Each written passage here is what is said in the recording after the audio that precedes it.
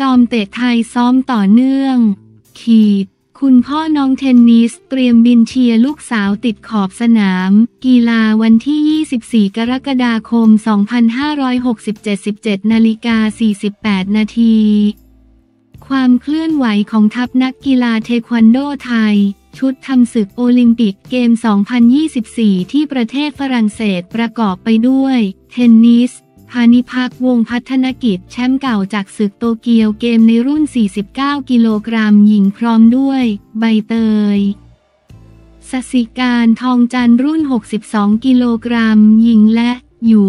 บัลลังทัพทีมแดงรุ่น 68 กิโลกรัม ชายโดยสามจอมเตะไทยเดินทางไปเก็บตัวฝึกซ้อม ที่ค่ายมวยไทยในเมืองเรดดิ้งประเทศอังกฤษ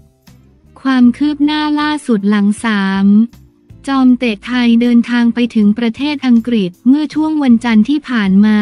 ก็ได้ลงฝึกซ้อมปรับตัวที่ค่ายมวยไทยในเมืองเรดดิ้งประเทศอังกฤษทันที โดยโคชเช ชัดชัยเชหัวหน้าผู้ฝึกสอนทีมเทควันโดทีมชาติไทย พร้อม โคชเล็กชนาทิพย์ซ้อนขำผู้ช่วยผู้ฝึกสอนได้ให้สามนักกีฬาไทยลงฝึกซ้อมเพื่อปรับตัวกับสภาพแวดล้อม ทั้งเรื่องของอากาศและเวลาต่อเนื่อง โดยเน้นหนักๆไปที่การซ้อมเพื่อรักษาสภาพร่างกายของนักกีฬาให้ฟิตและสมบูรณ์ที่สุด และไม่ได้โหมฝึกหนักอย่างที่ผู้ช่วยศาสตราจารย์พิมลศรีวิกร นายกสมาคมกีฬาเทควันโดแห่งประเทศไทยได้กำชับเอาไว้ก่อนออกเดินทาง เนื่องจากเกรงว่านักกีฬาจะได้รับบาดเจ็บในช่วงโค้งสุดท้าย โดยทีมเทควันโดไทยมีกำหนดเก็บตัวที่อังกฤษ 10 วันก่อนเดินทางเข้าฝรั่งเศสวันที่ 1 สิงหาคมนี้สำหรับโปรแกรมของสามจอมเตะไทยในศึกปารีส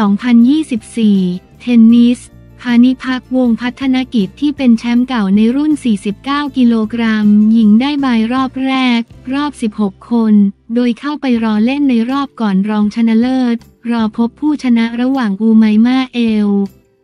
มูโชจากโมร็อกโก หรือแอนนา ดาคอสตา ดาซิลวา ปินโต จากติมอร์ตะวันออกวันที่ 7 สิงหาคมนี้ส่วนบัลลังก์ ทับทิมแดง ซึ่งจะลงแข่งขันในรุ่น 68 กิโลกรัม ชายจะพบกับฮาเวียร์ เปเรส โปโล อดีตแชมป์ยุโรป และเจ้าของเหรียญเงินชิงแชมป์โลก ปี 2019 ในวันที่ 8 สิงหาคมนี้ด้าน ใบเตย ศศิกานต์ ทองจันทร์จะแข่งขันในรุ่น 67 กิโลกรัม ยิงพบแคโรไลน์ซานโตส จากบราซิลวันที่ 9 สิงหาคมนี้ด้านสิริชัยวงศ์พัฒนกิจคุณพ่อของ เทนนิสพาณิภัค วงศ์พัฒนกิจเปิดเผยว่าในโอลิมปิกเกมรอบนี้ตนเองพร้อมครอบครัวรวมถึงคนไทยที่อยู่ปารีสที่อยู่ที่อังกฤษและสวิตเซอร์แลนด์รวมๆแล้วเกือบ 30 คนแจ้งกับตนมาว่า จะเดินทางมาเชียร์ที่ประเทศฝรั่งเศสด้วย เพื่อให้กำลังใจพานิพักและนักกีฬาเทควันโดไทยคนอื่นๆ แบบติดขอบสนาม ส่วนที่บ้านเกิดของเทนนิส ที่หมู่บ้านรินทองจอ สุราษฎร์ธานี ก็จะมีการจัดกิจกรรมเชียร์สดเช่นกันเหมือนทุกๆ ครั้ง ต้องขอบคุณทางผู้ว่าราชการจังหวัด และนายกองค์การบริหารส่วนจังหวัดที่ยืนยันจะจัดกิจกรรมเชียร์สดผ่านจอยักษ์ ในช่วงที่ เทนนิส ลงแข่งขันวันที่ 7 สิงหาคมนี้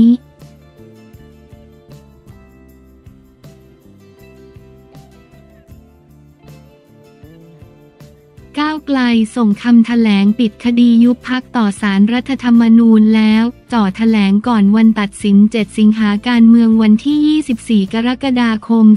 2567 16นาฬิกา57 นาที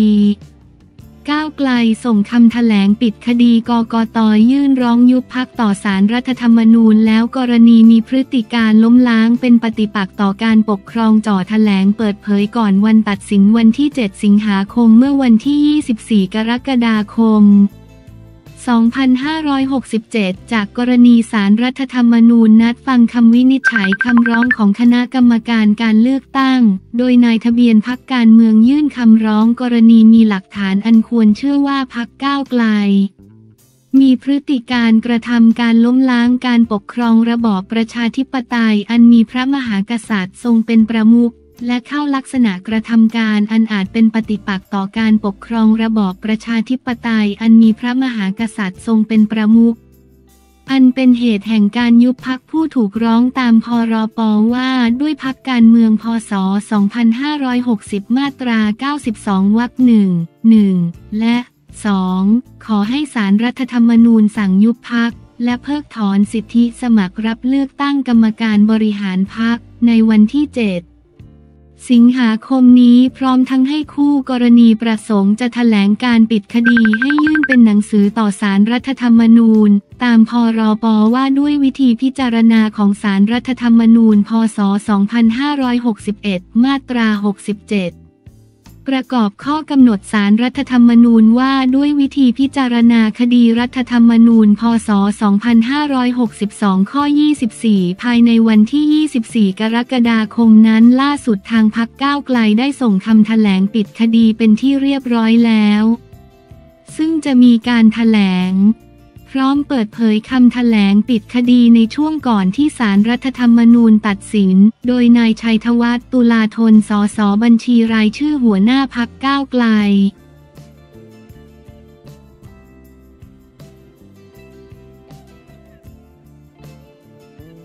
สุภโชค ผลงานเข้าตาผงาดคว้ารางวัลนักเตะยอดเยี่ยมประจำปี 2023-24 กีฬาวันที่ 24 กรกฎาคม 2567 19นาฬิกา54 นาที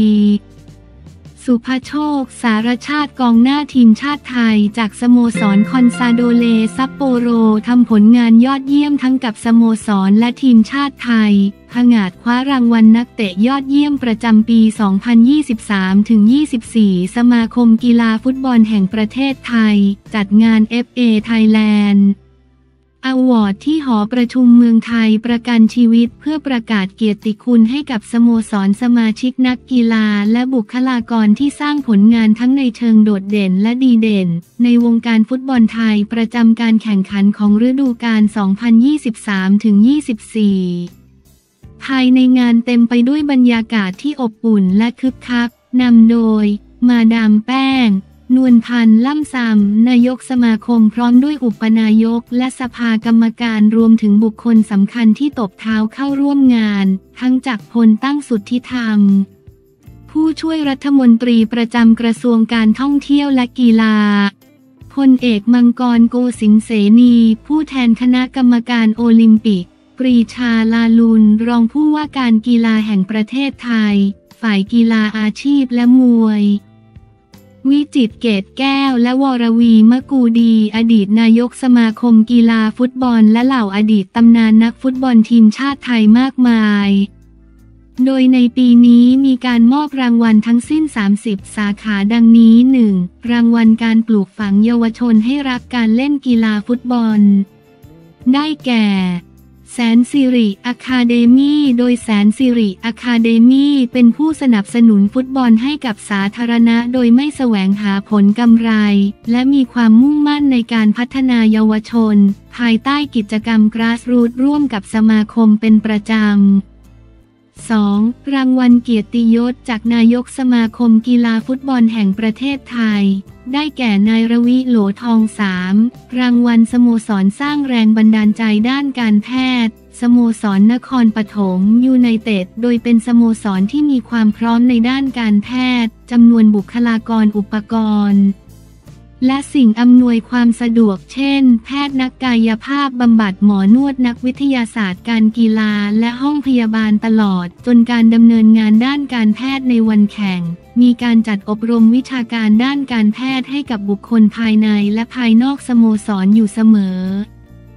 4. รางวัลสโมสรพัฒนาการยอดเยี่ยมแห่งปี สโมสรบีจีปทุมยูไนเต็ดมีการพัฒนางานด้านโครงสร้างและการตลาดที่โดดเด่นการมีส่วนกับแฟนบอลทั้งในสื่อออนไลน์ และกิจกรรมวันแข่งขันรวมถึงงานด้านความร่วมมือกับสมาคม เรื่องสนามสำหรับฝึกซ้อมทีมชาติไทยชุดต่างๆ 5 รางวัลสนามแข่งขันยอดเยี่ยมแห่งปีสโมสรอุทัยธานี FC ซึ่งสนามกีฬากลางจังหวัดอุทัยธานี มีสภาพพื้นสนามเรียบสวยงามพื้นสนามไม่แข็ง มีการบำรุงรักษาให้คงสภาพที่ดีตลอดฤดูกาล มีอุปกรณ์ดูแลพร้อมรับมือในสถานการณ์ต่างๆ สามารถระบายน้ำได้รวดเร็ว และไม่เคยมีการแจ้งเตือนจากผู้ควบคุมการแข่งขัน 6 รางวัลนักเตะเยาวชนยอดเยี่ยมแห่งปี ธีรศักดิ์ เผยพี่ไมยสโมสรการท่าเรือ FC ทำประตูตลอดฤดูกาล 15 ประตูจากการลงเล่น 22 นัด มีส่วนสำคัญในการพาต้นสังกัดจบอันดับ 3 ในศึกฟุตบอลรีโวไทยลีก และมีชื่อติดทีมชาติไทยชุดใหญ่ 7 รางวัลประตูยอดเยี่ยมแห่งปี ลีก ได้แก่โนโบรุชิมูระ สโมสรการท่าเรือ FC ในเกมที่พบกับบุรีรัมยูไนเต็ดได้รับคะแนนโหวตสูงสุด 32%จากแฟนบอลเอาชนะ 8 ประตูที่เปิดให้แฟนบอลร่วมโหวต 8 รางวัลประตูยอดเยี่ยมแห่งปี ทีมชาติได้แก่ปรเมศย์ อาจวิไลสโมสรเมืองทองยูไนเต็ดที่ทำให้กับทีมชาติไทยในเกมพบสิงคโปร์ฟุตบอลโลก 2026 รอบคัดเลือกโซนเอเชียรอบ 2 ได้รับคะแนนโหวตสูงสุด 20.8%จากแฟนบอลเอาชนะ 8 ประตูที่เปิดให้แฟนบอลร่วมโหวต 9รางวัลผู้ตัดสินยอดเยี่ยมแห่งปี วงกรานบุญมีเกียรติผู้ตัดสินระดับฟีฟ่าอีลิต ที่ได้รับการคัดเลือกให้ปฏิบัติหน้าที่อย่างต่อเนื่อง ทั้งในการแข่งขันระดับฟุตบอลระดับสโมสร และทีมชาติโดยได้รับการคัดเลือกให้เป็นผู้ตัดสินในการแข่งขันสำคัญในเกมระดับนานาชาติอย่างต่อเนื่อง 10 รางวัลผู้ตัดสินฟุตซอลยอดเยี่ยมแห่งปี พรนรงไกรรอดผู้ตัดสินกีฬาฟุตซอลระดับฟีฟ่าอีลิต สร้างผลงานได้อย่างน่าประทับใจในการทำหน้าที่ในฟุตซอลเอเชียนคัพ 2024 และมีชื่อร่วมทำหน้าที่ฟุตซอลโลก 2024 ที่อุซเบกิสถานร่วมกับผู้ตัดสินเอเชียอีก 7 คน 11 รางวัลนักฟุตซอลหญิงยอดเยี่ยมแห่งปี นัทมน อาจกล้าสโมสร ACSWU ฟุตซอลคลับมอ ศรีนครินวิโรธแม้จะพาต้นสังกัดสโมสร ACSW ฟุตซอลคลับมอศรีนครินวิโรธคว้ารองแชมป์ลีกในนามทีมชาติได้ลงเล่นมาอย่างต่อเนื่องและรายการล่าสุดพาทีมได้รางวัลรองชนะเลิศอันดับหนึ่ง NSDF Women's Futsal Championship 2023 ที่ประเทศไทย 12. รางวัลนักฟุตซอลชายยอดเยี่ยมแห่งปี จิรวัตรสอนวิเชียรสโมสรธรรมศาสตร์สแตลเลียนที่กลับมาระเบิดฟอร์มอีกครั้ง ทั้งในนามสโมสรที่มีส่วนช่วยให้ทีมจบอันดับ 5 ในฟุตซอลไทย ลีกฤดูกาล 2023 โดยมีสถิติส่วนตัวทำไปทั้งหมด 7 ประตูกับ 13 แอดซิสและกลับมามีชื่อติดทีมชาติไทยอีกครั้ง ในศึกชิงแชมป์เอเชีย 2024 รอบสุดท้าย ก่อนจะช่วยให้ทีมจบด้วยการเป็นรองแชมป์และได้สิทธิ์ไปลุยฟุตซอลโลกที่อุซเบกิสถาน และถือเป็นครั้งที่ 7 ติดต่อกันในประวัติศาสตร์ของวงการฟุตซอลไทย 13 รางวัลนักฟุตบอลชายหาดยอดเยี่ยมแห่งปี วัชระละภัยจิต จากสโมสรมิตซูรีพัทยามีส่วนในการพาทีมคว้าแชมป์ฟุตบอลชายหาดชิงชนะเลิศแห่งประเทศไทย ในฤดูกาลที่ผ่านมา นอกจากนี้ยังนำทีมฟุตบอลชายหาดทีมชาติไทย สร้างประวัติศาสตร์ผ่านเข้ารอบฟุตบอลชายหาดชิงแชมป์เอเชีย 2023 ได้เป็นครั้งแรกและมีคะแนนจบอันดับ 5 ของทัวร์นาเมนต์ซึ่งเป็นผลงานที่ดีที่สุดนับตั้งแต่เข้าร่วมรายการนี้มา 14 รางวัลผู้ทำประตูสูงสุดแห่งปี ไทยลีก 3 ได้แก่ดานิโลโลเปสสโมสรศรีสะเกษยูไนเต็ด ทำไปทั้งหมด 22 ประตู 15 รางวัลหัวหน้าผู้ฝึกสอนยอดเยี่ยม ไทยลีก 3 กฤษกรกระสายเงินสโมสรบางกอก FC พาบางกอก FC คว้าแชมป์ปุ๋ยรุ่งอรุณไทยลีก 3 รอบประเทศและโซนกรุงเทพและปริมณฑลและได้เลื่อนชั้นกลับมาเล่นในไทยลีก 2 เป็นครั้งแรกในรอบ 10 ปี 16 รางวัลผู้เล่นทรงคุณค่าแห่งปี ไทยลีก 3 วิชยะพรประสาท สโมสรบางกอก FC ลงสนามไปทั้งหมด 31 นัด ได้ man of the match จำนวน 6 นัดทำไป 14 ประตู 17 รางวัลผู้ทำประตู 18. รางวัลหัวหน้าผู้ฝึกสอนยอดเยี่ยม ไทยลีก 2 ธีรศักดิ์โพธิ์อ้น สโมสรนครราชสีมามาสด้าเอฟซีสามารถพานครราชสีมามาสด้าเอฟซีคว้าแชมป์ไทยลีก 2 ฤดูกาลเศษ 2023 ส่วน 24 มาครองพร้อมได้เลื่อนชั้นกลับไปเล่น รีโว ไทยลีกภายในปีเดียว 19 รางวัลผู้เล่นทรงคุณค่าแห่งปี ไทยลีก 2 เดวิสันแฟร์นันเดส สโมสรนครราชสีมามาสด้าเอฟซีลงสนามให้นครราชสีมามาสด้าเอฟซีไปทั้งหมด 33 นัด และทำไป 22 ประตูพร้อมพาทีมคว้าแชมป์ไทยลีก 2 ฤดูกาลเศษ 2023 ส่วน 24 มาครอง พร้อมได้เลื่อนชั้นกลับไปเล่น รีโวไทยลีก 20 รางวัลผู้ทำประตูสูงสุดแห่งปี ไทยลีก ศุภชัยใจเด็ดสโมสรบุรีรัมย์ยูไนเต็ดทำไปทั้งหมด 21 ประตู 21 รางวัลหัวหน้าผู้ฝึกสอนยอดเยี่ยม ไทยลีกธชตวัน ศรีปานสโมสรทรูแบงคอกยูไนเต็ดพาทรูแบงคอกยูไนเต็ดคว้าแชมป์ไทยแลนด์แชมเปี้ยนส์คัพและจบด้วยการเป็นอันดับสองของรีโวไทยลีก และยังพาทีมคว้าแชมป์ช้าง FA คัพครั้งแรกในประวัติศาสตร์ของสโมสร และสิทธิ์การไปเล่น AFC แชมเปี้ยนลีกอีลิตรอบเพลย์ออฟฤดูกาล 2024 25 22 รางวัลผู้เล่นทรงคุณค่าแห่งปี ไทยลีก ศุภชัยใจเด็ด สโมสรบุรีรัมย์ยูไนเต็ดหลังยิงไป 21 ประตูพร้อมคว้ารางวัลดาวซัลโว สมัยที่ 2 ติดต่อกัน และยังช่วยให้ทีมคว้าแชมป์รีโวไทยลีกฤดูกาล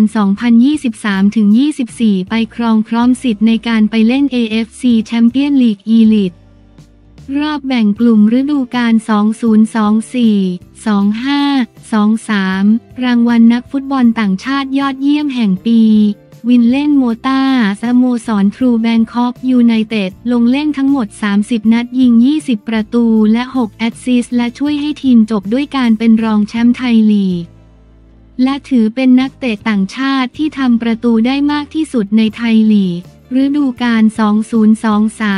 24 24 รางวัลรีโวไทยลีกทีมยอดเยี่ยมแห่งฤดูกาล 2023 24 ระบบการเล่น 4 2 3 1 ผู้รักษาประตู ปฏิวัติคำไหมกองหลัง เจมส์ เบเรสฟอร์ด ดิออนคูลส์ เอเวอร์ตัน กอนซัลเวสเควินดีรมรัมย์กองกลาง ธีราทรบุญมาทัน เฟรดดี้อัลวาเรซ ตัวรุก วิลเลียน ป๊อปป์ปรเมศย์ อาจวิไล ศุภชัยใจเด็ดกองหน้า วิลเลนโมต้า 25 รางวัลผู้เล่นทรงคุณค่าแห่งปี ไทยวีเมนลีก 2 ปาริชาติทองรอง โรงเรียนกีฬาจังหวัดนครศรีธรรมราช ลงเล่นไปทั้งหมด 1,167 นาที พร้อมทำไปทั้งหมด 12 ประตู